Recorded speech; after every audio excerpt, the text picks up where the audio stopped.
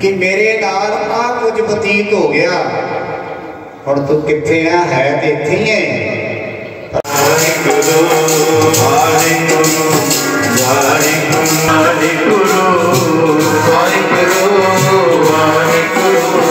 ਨਮਸਕਾਰ, ਹਰ ਸੱਚੀ ਖਬਰ ਦੇ ਨਾਲ ਤੁਸੀਂ ਦੇਖ ਰਹੇ ਹੋ ਤੁਹਾਡਾ ਆਪਣਾ ਚੈਨਲ ਸਮਾਰਟ ਇੰਡੀਆ ਡਾਲ ਧੰਨ ਧੰਨ ਸ਼੍ਰੋਮਣੀ ਭਗਤ ਨਾਮਦੇਵ ਜੀ ਦਾ 750ਵਾਂ ਪ੍ਰਕਾਸ਼ ਪੁਰਬ ਮਿਤੀ 25/11/2020 ਦਿਨ ਬੁੱਧਵਾਰ ਨੂੰ ਗੁਰਦੁਆਰਾ ਸ੍ਰੀ ਗੁਰੂ ਸਿੰਘ ਸਭਾ ਜਲੰਧਰ ਛਾਉਣੀ ਵਿਖੇ ਸ਼ਰਧਾ ਅਤੇ ਧੂਮਧਾਮ ਨਾਲ ਮਨਾਇਆ ਗਿਆ। ਇਸ ਮੌਕੇ ਤੇ ਕੀਰਤਨ ਦਰਬਾਰ ਸ਼ਾਮ 6:30 ਤੋਂ 9 ਵਜੇ ਤੱਕ ਕਰਵਾਇਆ ਗਿਆ ਅਤੇ ਪੰਥ ਦੇ ਮਹਾਨ ਰਾਗੀ ਸਾਹਿਬਾਨ ਨੇ ਸੰਗਤਾਂ ਨੂੰ ਗੁਰਬਾਣੀ ਦੇ ਰਾਸ ਨਾਲ ਨਿਹਾਲ ਕੀਤਾ। ਜਲੰਧਰ ਕੈਂਟ ਤੋਂ ਕੈਮਰਾਮੈਨ ਸੰਦੀਪ ਕੁਮਾਰ ਦੇ ਨਾਲ ਬੋਬੀ ਗੁਲਾਟੀ ਦੀ ਖਾਸ ਰਿਪੋਰਟ। ਵਾਹਿਗੁਰੂ ਜੀ ਕਾ ਖਾਲਸਾ, ਵਾਹਿਗੁਰੂ ਜੀ ਕੀ ਫਤਿਹ। ਅੱਜ ਧੰਨ ਧੰਨ ਬਾਬਾ ਨਾਮਦੇਵ ਜੀ, ਸ਼੍ਰੋਮਣੀ ਭਗਤ ਜੀ ਦਾ 750 ਸਾਲਵਾਂ ਸ਼ਤਾਬਦੀ ਦਿਵਸ ਜੰਦਰ ਛਾਉਣੀ ਗੁਰਦੁਆਰਾ ਸ੍ਰੀ ਗੁਰੂ ਸਿੰਘ ਸਭਾ ਵਿਖੇ ਮਨਾਇਆ ਜਾ ਰਿਹਾ ਹੈ, ਜਿਸ ਵਿੱਚ ਪ੍ਰਸਿੱਧ ਰਾਗੀ ਜਥੇ ਆਪਣਾ ਗੁਣਗਾਨ ਕਰਕੇ ਸੰਗਤਾਂ ਨੂੰ ਪ੍ਰਭੂ ਚਰਨ ਨਾਲ ਜੋੜ ਰਹੇ ਨੇ। ਅਸੀਂ ਸਾਰੀ ਸੰਗਤਾਂ ਦਾ ਬਹੁਤ ਧੰਨਵਾਦ ਕਰਦੇ ਹਾਂ, ਜਿਨ੍ਹਾਂ ਨੇ ਤਨ ਮਨ ਧਨ ਨਾਲ ਸਾਡੀ ਸੇਵਾ ਕੀਤੀ ਹੈ।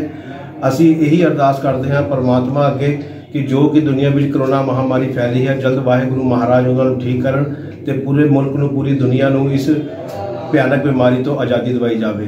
ਵਾਹਿਗੁਰੂ ਜੀ ਕਾ ਖਾਲਸਾ, ਵਾਹਿਗੁਰੂ ਜੀ ਕੀ ਫਤਿਹ। ਚਲਿਆ ਪਲਟਾਏ, ਮੈਂ ਤੇ ਆਪਣੀ ਕੰਬਲੀ ਲੈ ਕੇ ਆਇਆ ਸੀ। ਆ ਲੈ ਕੇ ਚੱਲਿਆ ਹੀ ਮੈਂ। ਇਹਨੂੰ ਬਾਹਰ ਬੈਠਣਾ ਪੈ ਗਿਆ।